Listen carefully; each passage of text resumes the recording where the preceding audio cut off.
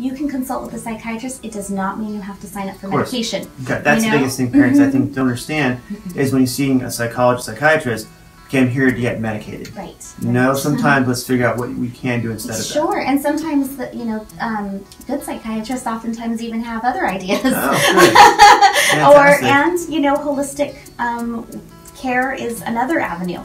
Um, and again, I see pediatricians, I see chiropractors, I see psychiatrists, therapists, all taking this holistic approach to let's maybe you want to try that.